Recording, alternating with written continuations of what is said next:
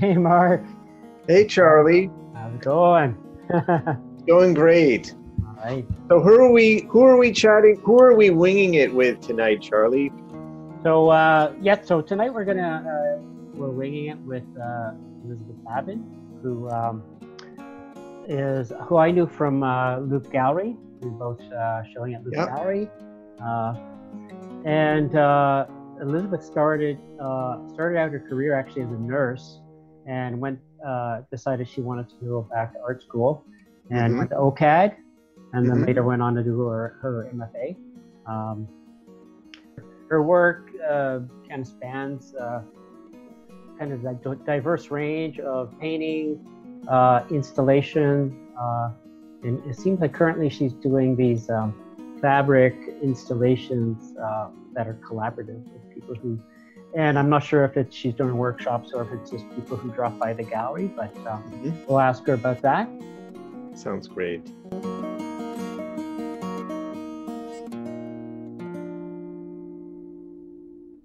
Oh, sorry about Welcome to Winging It. Uh, yeah, don't say you're sorry. We yeah. love having you. Take a deep breath.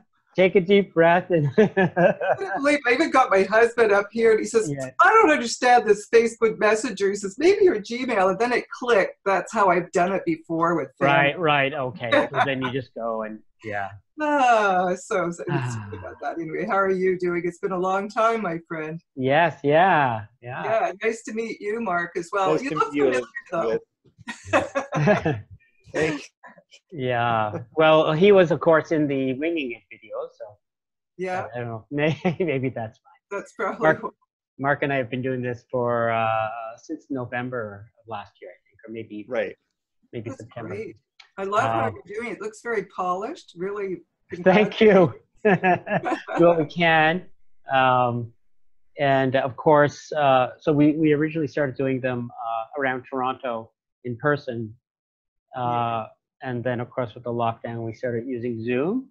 Yeah. And we've uh, interviewed artists from Mexico City, New York, the UK, Sault Ste. Marie, and now we're in Saskatchewan. Saskatchewan. Going out west. yeah. Um, so why don't we just jump? ask you, can I just ask, so you're in Saskatchewan. You, Yeah. you were in Toronto. Is that correct? I, I, Previously. yeah, yeah. Um, Previously in Toronto Toronto. area. Lived in Toronto, moved to the country. So, how do you find the transition as an artist from Toronto and the Toron- Toronto's art scenes? I won't, I won't make it a monolith, hmm. but the various art scenes in Toronto. How do you find the transition to Saskatchewan? Well, actually, the transition's a lot better than I, I, I- I expected. Initially, I was mortified when my husband wanted to move out here. Because I was, that's exactly what I was thinking. How am I going to do this? But there is a vibrant art scene out here. And um, when I moved out here, I found that my work started to change. And I started moving from the painting to more installation based. And it actually brought me to the uh, conclusion that I wanted to go back and uh, and do my MFA and look more at installation, video, that sort of that sort of thing. So so it's been good, you know, and there's some uh, wonderful artists out here. But of course, I also miss the vibrancy Yeah, of Toronto and all of this studio. Well, and being part of Loop was uh, quite a, Oh. a collective, right? Envir- Yeah. uh, energy. Um, I actually wanted to. Uh, I thought a good starting point, besides the the Saskatchewan thing, is um, you you came you you actually started your kind of working life doing something else. Yes, I believe you were a nurse, and then you just curious as how you made that leap uh, and what kind of triggered that going to OCAD and then kind of uh, leaping into the um, Art. to the art world and and uh, you know I can uh, recall those paintings that that used to show at Loop Yeah. uh, maybe 10 or 12 years ago. I don't know how far back they were that were yeah. That's um, about right. people will have seen already in this video. Um, Mhm. and uh, you know the swirly, like I just uh, the, they were very colorful, swirly, Gestural. gestural, but they also had Yeah. like tiles and like some Mhm. architectural stuff. Express- Expressionistic. So I guess the question was, uh, can you talk about that that decision to leave uh, nursing and and and follow you know like something what did you follow into the arts world Well, I, you know, I, I, I was always interested in art, and as a young person, used to spend a lot of time drawing, mostly portraits and that sort of Right. thing. And I certainly, I did want to go to art school, um, and I recall um, asking my, my mom even like, you know, um, if I could do that, and she says, "Oh, think of something else." a lot of artists are starving out there and uh, you've got good grades. Think of something else. Being the oldest of seven and you know i i somehow saw the logic in it and i and i, I have no regrets. I enjoyed my uh, nursing experience. I i practiced as a nurse for about 10 years. And uh, and then um, after spending about four years in the states, I was um, practicing in well Philadelphia and New Jersey, and we moved back. I had a child, and it was my husband who, because I've been painting now, I started to paint Right. on my Yeah, own, okay. and uh, as soon as we we moved to Toronto, he uh, got me a catalog, and at that time it was OCA, Ontario College of Art. that's where i I went oca I just started taking some courses, and yeah. and I, and, and I think after about you know one or two I was I realized you know this this is who I am this is you know so at the beginning a- as a young mom with having babies I had four children during that period. I um, I was just taking one or two courses a year and uh, and then there was a little bit of a break because I got very involved with Mhm. child rearing but I kept painting right uh, then I decided to go back, and that's when I ended up doing my BFA, and uh, um, and that's how I got to know you. yeah Um, yeah, yeah, shortly yeah. afterwards, and so yeah, and and, and it's interesting yeah. because I grew up in a farm on a farm in a little rural town in Quebec, and I can tell you, I never went to galleries, didn't know anything about art. Uh, we did have art books, but they were all like Dutch, old sure Dutch yeah masters Yeah. and so for me that's what art was so it was a real growing and learning experience for me going to school Yeah. did you Was find exciting that or was it kind of overwhelming yeah experiencing all, all uh, the, the, you know the new the contemporary for the first time? Well it's interesting. I was initially a little bit um, you know had a very narrow view of what art was. And um, but i'm so thankful that i went into the uh, what do they call it? It's the, the first year uh, bit. foundation. Foundation foundation state yeah. level because I was so thankful because that's where you start opening up. But I remember the first semester thinking, holy moly, I thought I was taking media and she's got us doing soft sculpture and she's got us doing you know, all this other stuff. And, uh, but then, you know, it started to click, that light bulb went out and how much more exciting that was actually. Yeah. yeah yeah and you probably were surrounded by like young crazy artists who were Loved it. Yeah. yeah yeah I loved it. yeah so i went back as a mature student at that time you know my early 30s um, and then after a 10 year break went back and now i was in my mid 40s Mhm. Yeah. Mm. So, um, viewers will have seen some of your paintings by now, and can you talk a bit about? I remember there sort of being some, some there were there were the ones that were kind of like cathedral windows, windows. Uh, Weren't there some that were sort of like two Mhm. parts with sort of like oh dip, like windows?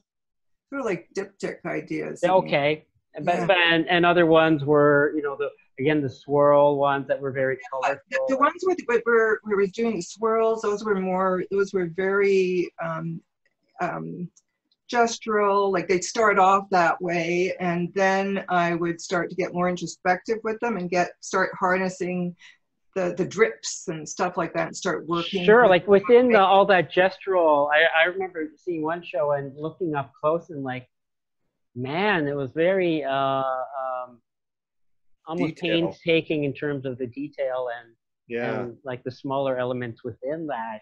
Yeah, there was one. I'm wondering if you're referring. Like I've got a couple. There was one where where I was referencing optic art.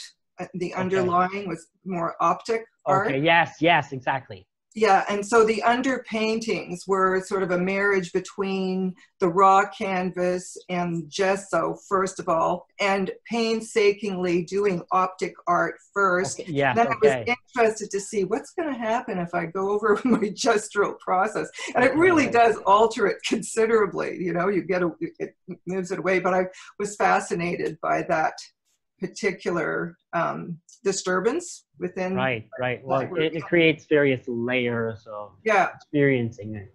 yeah, and then and then going back into it as I have often done and starting to you know manipulate it further.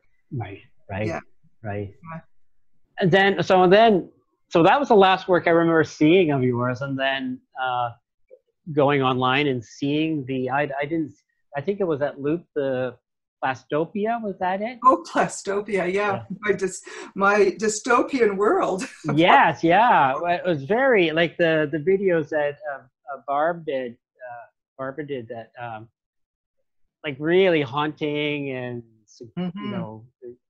Really But- but Well, the, also- videos, the videos I did, Barb Oh. took pictures for me. She took the photos. Okay, I okay. took- I took the, the videos were part of the installation, and Oh, actually, I they should- were okay. I should backtrack just a little bit because the genesis of that work was really I, w- I had I'd gotten very involved with Fibonacci and number sequences and Uh, in my work, and then looking at sacred geometry, and that became underpaintings too, you know Right. and um, and I think after that body of work, I, I- I started looking for new ways to to convey what I was trying to to research and, and bring Right. forth with with this um, Fibonacci because I was looking at the number sequences as being sort of like the truth, you know, mathematical Sure. equations as being the truth. Um, and then I had an, I was, by this time now I was doing my MFA and still pursuing it that way. And um, I had a visit from David Garneau, sort of, and when I was talking to him about it, he says, uh, Fibonacci isn't always correct. You know, it's not always, it doesn't always apply. And it really rattled me a little bit. And I started to start look at, looking at things differently. And um, I had a body of work that I did, which I, I've documented, but have never really shown outside of Okay. university, which was, uh, I was trying to look for that interconnection because I'm always looking for that. And um, I started looking at what I, the resources that I used and had, and I realized when I looked at all the books, and then I had tarot cards, and then I had runes, and I had crystals, and I thought, oh my God, I'm a new age junkie. So I became this or a modern really mystic, yes. over the top yeah. new age junkie with mirrored mylar all over, all over the place. I had these sort of the wheel of fortune, you know, where I say, you know, look very, very carefully, ask your question, and your question will be revealed. And and then this thing would spin so fast that you could never read the answers, you know. But but, Okay, but start right. deep breathing and meditate. So it was that kind of a thing. Sure. So so I guess I, I started looking at things that way and I started realizing that within my work, here I'm always was always trying to find that inner center and meeting and, and then realizing that there is a disconnect Mm. between my, my consumption, whether it was a consumption of this material, like when is enough enough? right. A lot of these books say the exact same thing over and over. and Oh over. yes, no, for sure. The uh, the the um, spir- spiritual thrill, thrill seeking, right? Sort of like, um, yeah, spiritualism meets capitalism, right? Right. um, and the marketing of spirituality. The, the, th- one of the things that struck me looking at the imagery online of of, uh, pl- of Plastopia, and I, I wish I had seen it live. Um, on the one hand, you you express in your statement that it's it's partly or maybe largely about overconsumption and about just plas- you know plasticity and plastic world taking over the environment and the the impact on the environment and the impact on our our ourselves and our inner Mhm. lives but on the other hand it's also a really beautiful work right it, it, it just the, the the color the opulence and just and and the design of it it just works uh, in, in Yeah. it, it's dazzling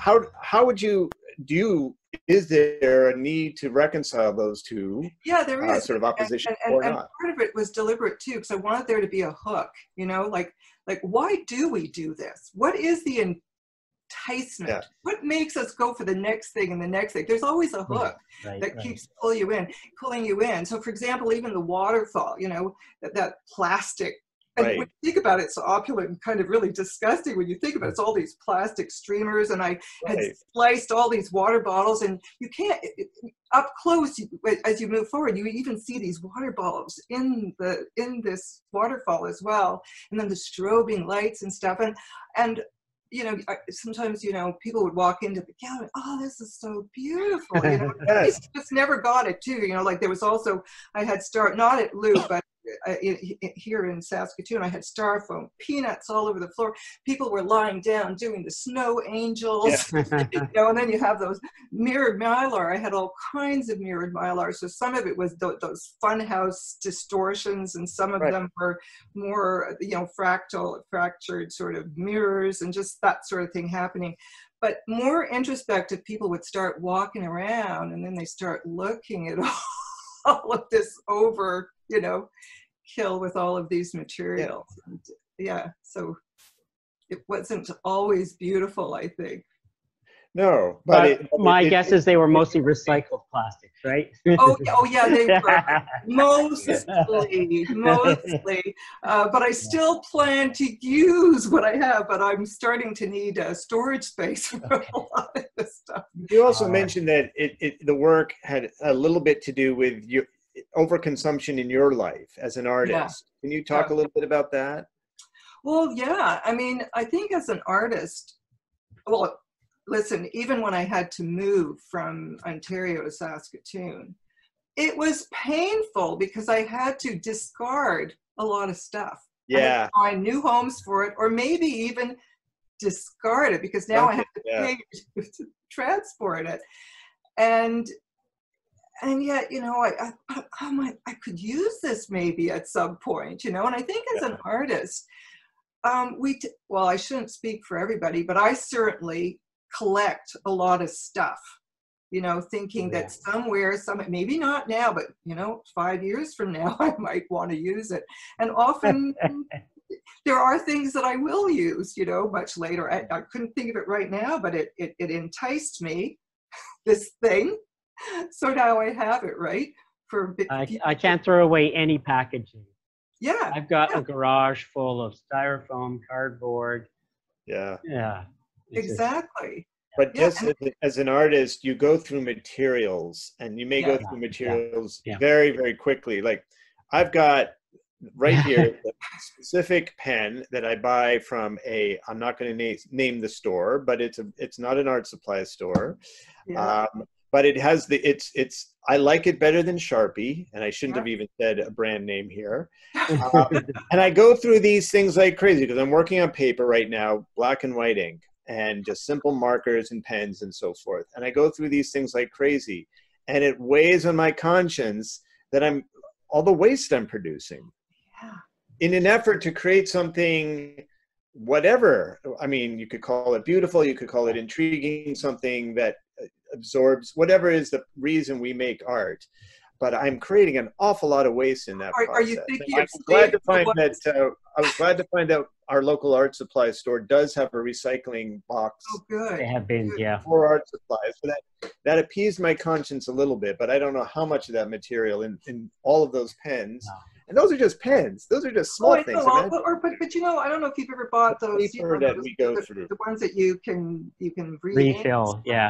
And yeah I've ruined some really expensive ones because I haven't been really good at properly Yeah. cleaning them too. So there's that other like you try and then and all the paper I use, so the trees that I've been, you know, throttling, how many forests have gone to, to help create stuff, and all the paper I end up throwing out because oh, this drawing isn't working out. Shred, it's gone. It'll get recycled to some extent, but it's still. So Yeah. when I saw that in your statement, I mean, it really resonated with me, and I think it should resonate with most artists because we are all no matter where we are politically on the spectrum or otherwise, we're all mass consumers and producers, but also we, we create a lot of um, refuse. Yes. Well, it's a even challenge. even the Yeah. wonderful stuff, there's still the the all the byproducts. Yeah. Yeah, it's a challenge to- ends up in landfill, kind of- or at least in, hopefully in a I, I, it, it's a challenge, you know, Yeah. just being alive to not consume, right? So yeah. no matter how hard you try to, to I mean, just look at computers or look at anything that we're using now. Our, our cell Yeah. phones, everything's designed so that we are, you know, yeah, we have to Yeah. go to the next thing, you know, yeah. as much Yeah. as I resist it, but When I was married, we had a, a washer and dryer that my ex-wife still has. That's 50 years old. Mm-hmm. mu- so much better. But if you bought it 10 years ago, it'd be dead now, right? Yeah. You'd have to buy a new one. Yeah, But because it was 50 years old, Yeah. uh, you know, it, it, it needed some repairs or something, but it was it was constructed so well Yeah. that it's it probably lasts another 10 The years. simplicity too, I think that's Yeah, a big part yeah, of it. And yeah. that's so deliberate and that's what's so frustrating. Uh, Even if you don't want to, you know, you you you know, I don't know where we could get stuff like that even anymore. Yeah. Exactly, right? Um,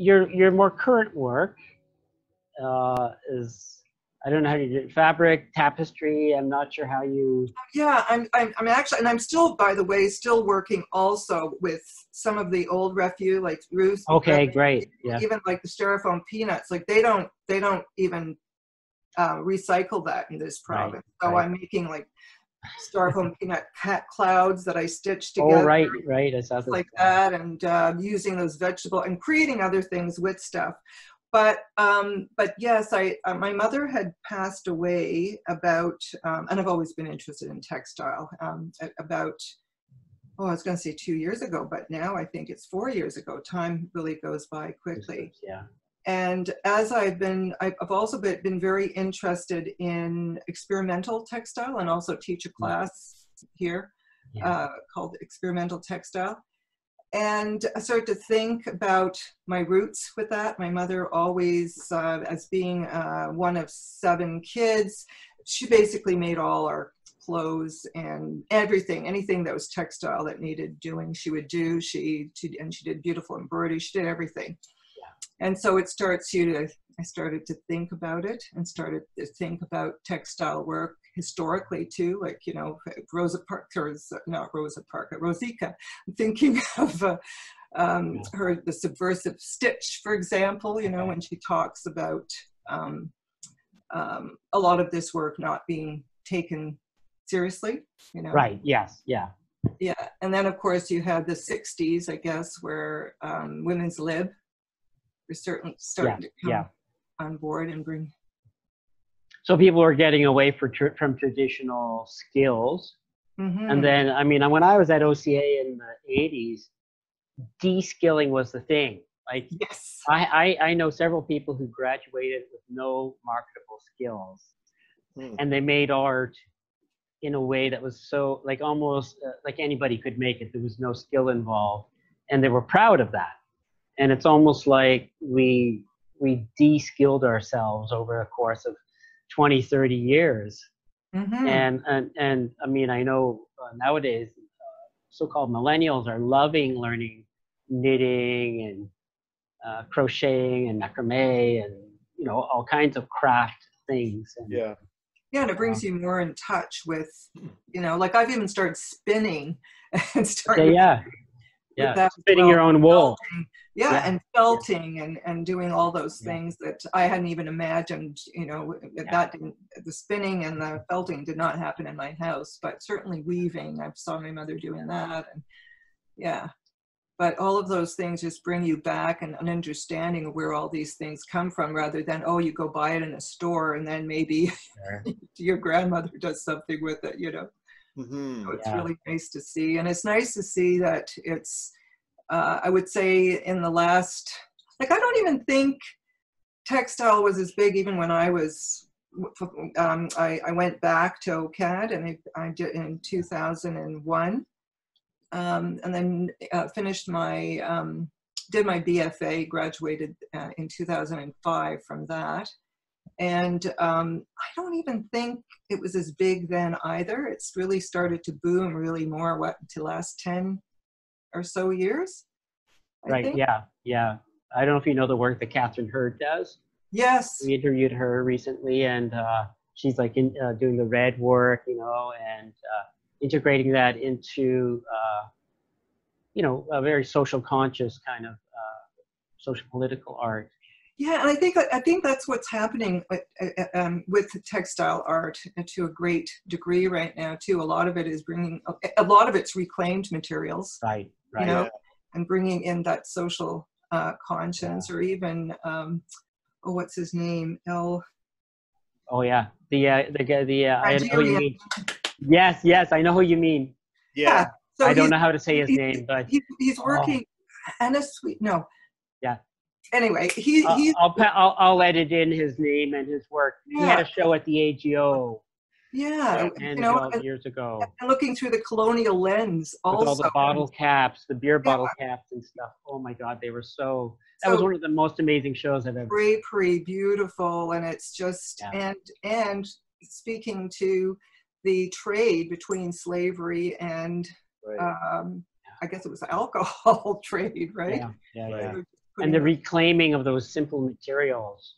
yeah Yeah, yeah. and it, you know when you look what's happening in the oceans i mean there are artists there's what's her name aurora robson was doing she beautiful beautiful work Yeah. with um like i think it was 9000 bottles or something where water bottles right.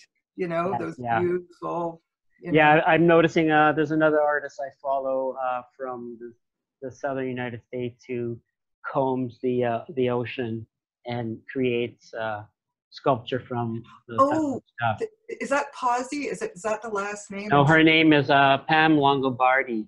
Okay, because there's Yeah. another one. She was working with a group, Pozzi, and and I think that what they di- did is they collect all the stuff from the, is it the Washington Okay. seacoast perhaps?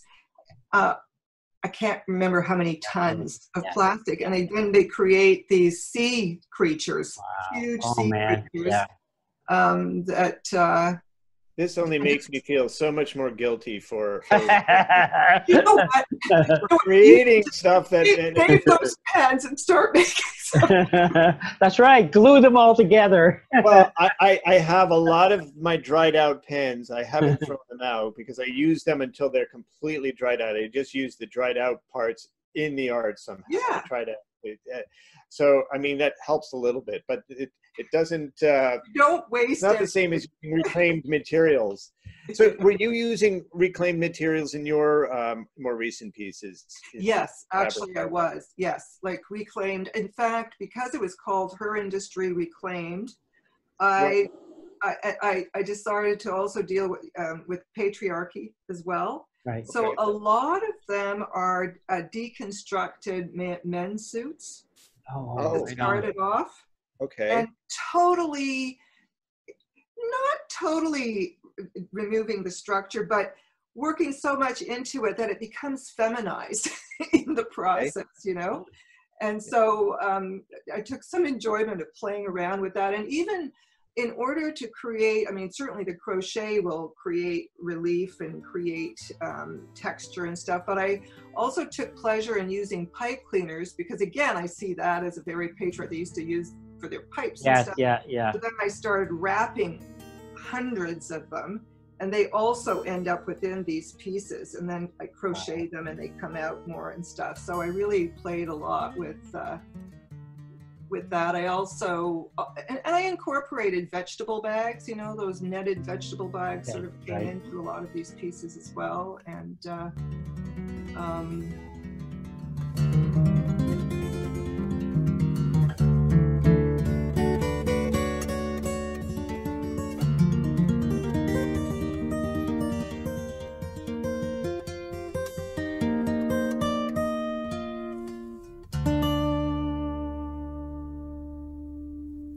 How does the uh, the collaborative element come into play? Oh. Do you do workshops with people, or do people just come into the gallery and contribute? Yeah, well, to well, it? when I first went to when I went to Loop, I really enjoyed just having a workshop, just showing people how to do different things that hadn't done, and so and I enjoyed that so much that I had. Then I later had a show here in the city, and I thought, you know what? Why don't I start a piece? I'll start it. So I just started with the piece, and I'll invite the public to join me. And I I set a time every afternoon that I would be there. So then people would come, and I'd have tons of reclaimed materials. And if they wanted to bring something, they could, you know.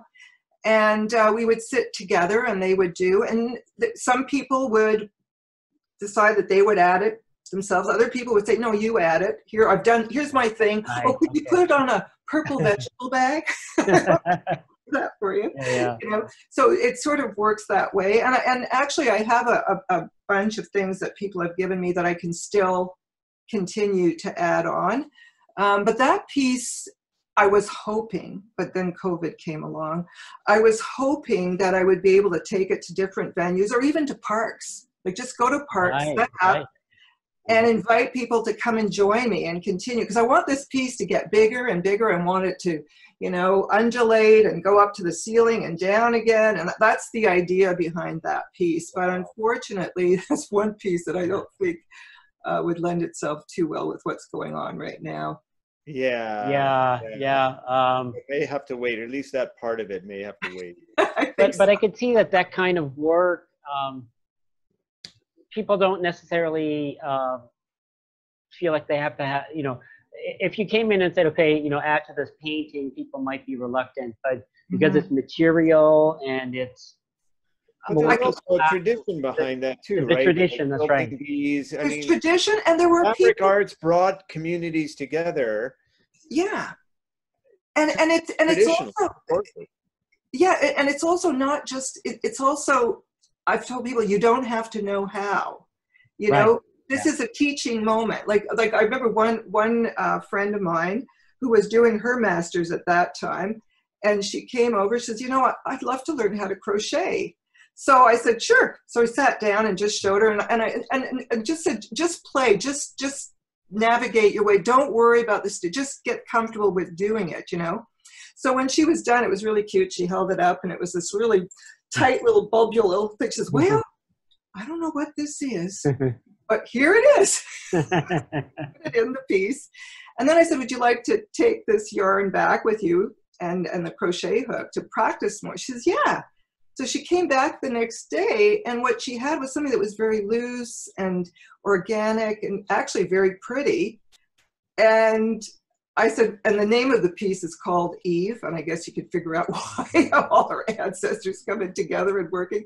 So, uh, uh, so she, um, so that went on the piece as well. So I also see it as a also an opportunity to learn and experience something new, and that's something I should mention too. That each piece in that particular show, and her uh, industry reclaimed, I named after a different ancestor, starting with my mother, you know, and and of course when I did that, it also harkened back different things about them, and that would also um, influence how I approached them as well. Yeah. So you, you really there was a real personal component to uh, to to um, her her industry reclaimed um, to to that installation. Sort of your personal connection to a tradition, to an artistic tradition, and a, a, a with a, a very long history you know, Yes. going back to the Neolithic period, going back forever. Yeah. Oh, and then even the metaphor and the symbolism of many fabric, many threads Yeah. together. Um, and even the felt because there was a lot of felt in there too happening like needle felting and stuff like that and when and I, I would imagine that you know that might have been part of the beginnings too of, of fabric when you think about it right the, the Mm. sheep matting together you start getting felt and you start getting the you know so all that kind of stuff um, um, uh, I was harkening back to some of that stuff as well. But as we, but we keep evolving and keep moving forward and, and with our work and how we proceed.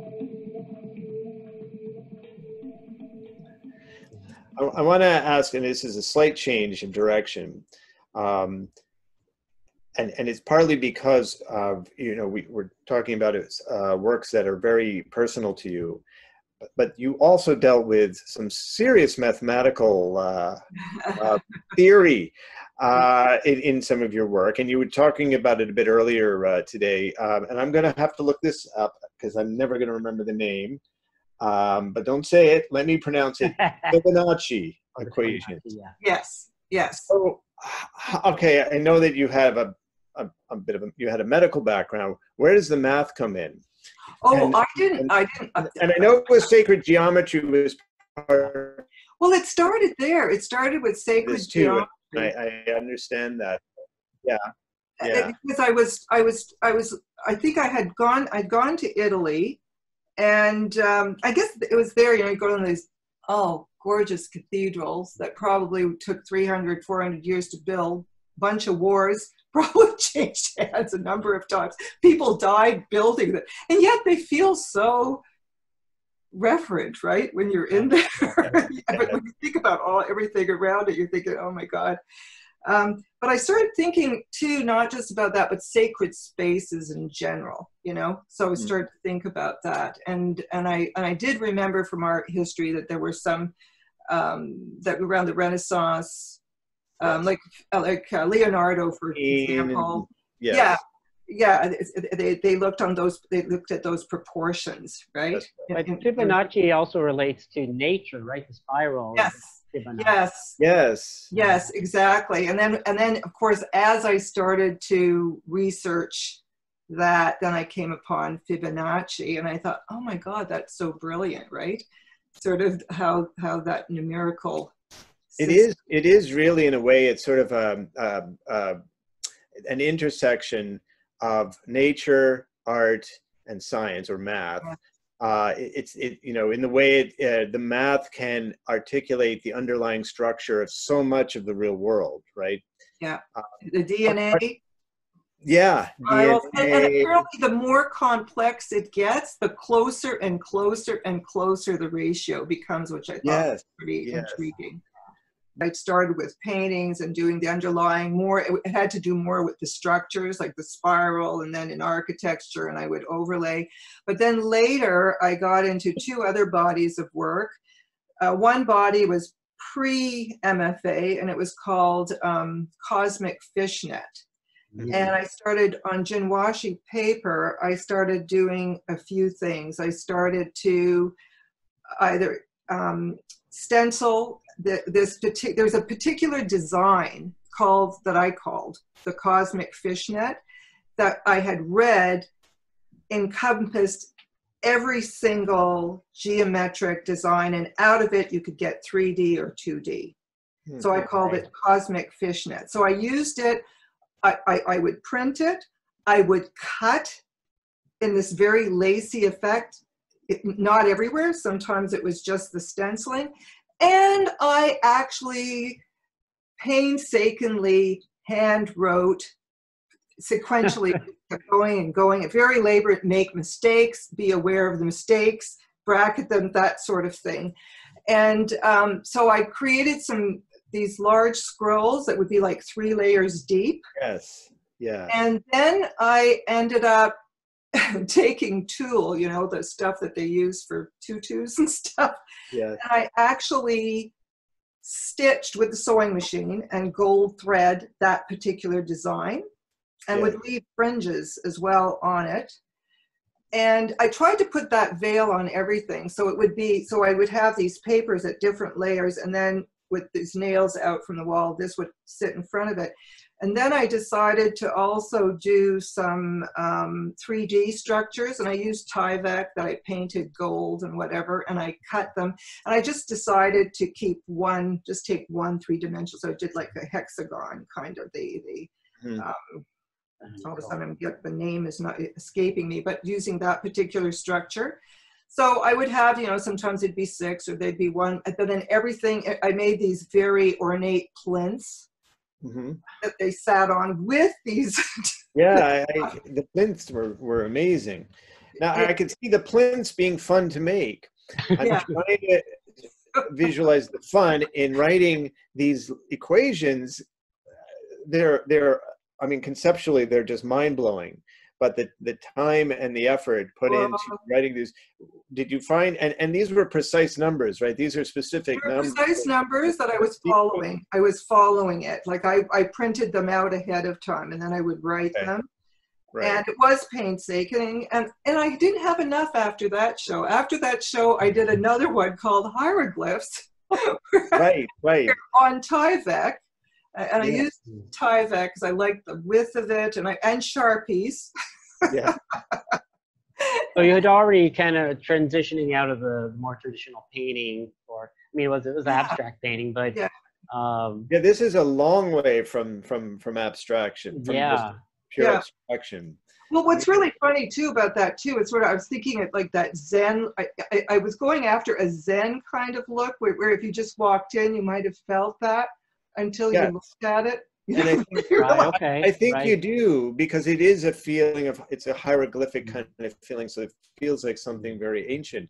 But the process of putting that together was that Zen. Did you feel like No. it was a No, it meditative it was it was painful. There were times when you get your existential arm medium? just painful, and then you Yeah. make a mistake, and then you bracket it, and and who knows? There's probably more mistakes that I missed. So there's that whole process that goes into it, and but I felt it was also important to Yeah.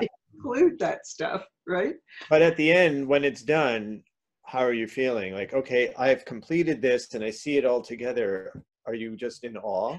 I felt good about it. Yeah. I, I, I, it was the way I wanted it to be. Like I wanted that that Zen kind of, and I wanted people to look at it and say, "Oh my God, is wh- who's the crazy person that's scratching all these numbers on this paper?" Right. And I also had a video that accompanied it. And on the video, um, oh, and I tried. I had many, many different things that I tried with the. I even had the GoPro, and it ended up looking Yeah. like a fishbowl effect, which is you know then finally i just came with something less sophisticated where i just you know just did a, a, a little bit with my cell phone.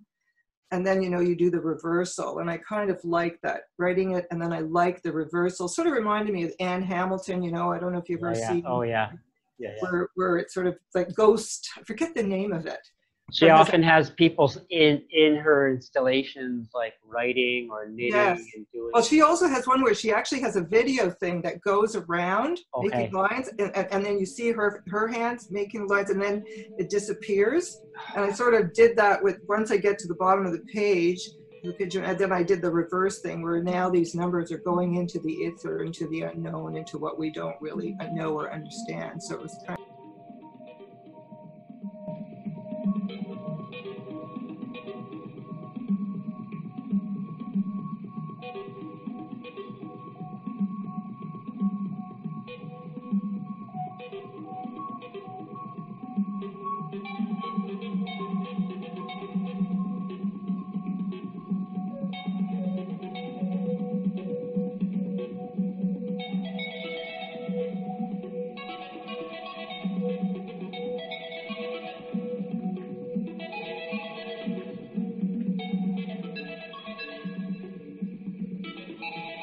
Are, are you teaching in the fall? I was asked if I would do some Zoom needle felting, and so I will be in touch um, and with the. I would love to do the experimental textile. That's my baby, but um, maybe we'll try that first. And I, I have a feeling maybe I'll have to make some little videos first and maybe put them on YouTube and work it that way with Zoom. Because I'm thinking, how does that work? You know, um, Yeah. Yeah, I, I, I marvel at, uh, well, I, marvel's not, not the right word, but I'm, um, I'm, I'm curious and, uh, as to how the, the, the art schools are going to function in the fall. You know, Yeah, how do you teach art online or remotely? Uh, or if you do it in the, in a classroom setting, it's going to be a completely different kind of setup. Yeah, I, I think especially with like I was talking to one of my uh, uh, friends who's teaching at the university, but she's been teaching drawing at the university, and she said Yeah. that she says, you know, there's some applications there that I'm really liking that I think I might bring into in class things eventually. Right. Um, Right. uh, for others, there are other like one uh, prof that I had was saying really challenging with installation work, right? I mean, it's not like students have this big space that they can Right. sort of, you know, You'd be creating installations in their dormitory or this little mi- little miniature. apartment. Well, or, or the other people outside, maybe. Uh, yeah, Yeah. there, there are some interesting challenges with. Uh, Saskatoon weather. We'll have to uh, come up with some creative, creative uh, outdoor. Uh, that's right. So, so I think there are going to be challenges. And then I have another friend who will. One nice thing is that she lives here but teaches at Concordia, and she mm. usually goes for one semester. She's also a wonderful textile artist. That's Mindy Yan Miller. She was with Loop, Okay. and so she's working that out right now with teaching the textile stuff mm. online. Well, I mean, it'd be interesting because you know Toronto is in phase three, which means that people can gather, and I know the Right. schools are planning to go back in the fall, and Yeah. so uh, But yeah, I know the universities here are, are still, it They're sounds still- like they're okay. doing remote. right, okay, Now, the only thing Please here right help. now, I'm told, will be the labs. You know, some labs, and okay. um, yeah, but everything else will be remote. Yeah. yeah. I think for artists, that's very challenging. I would Sure. think, and that, and that's what I'm, you know, curious and puzzled about is how, how they going to do it. Um, Yeah. Something Yeah. that can be done, but uh, so much of art really needs to be in person. Well, we should we should uh, bid you adieu, Yeah. and uh, it's been uh, great chatting with you and uh, hearing Well, about your process.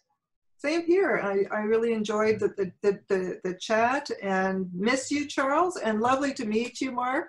Great meeting you two. Thank you so much. Yeah. Yeah, and I look forward to keep. I'm going to keep following you. I think your webinar is great. I'm really enjoying Thank it. you. Thank you. Okay. Farewell. Yeah. Farewell. And, uh, farewell. Been great uh, chatting with you, and uh, We look forward to seeing the forward. next installations. and maybe one day we'll see you in person in Saskatoon or so, Toronto. yeah, we're, we're Yeah. you- we, we do plan, I think, to retire out back. We still have our place in Caledon. Okay, cool. Yeah. Okay. All right. Take care. So we'll Thanks. be in touch. Bye, Charles and Marc. right. Bye bye. Bye now.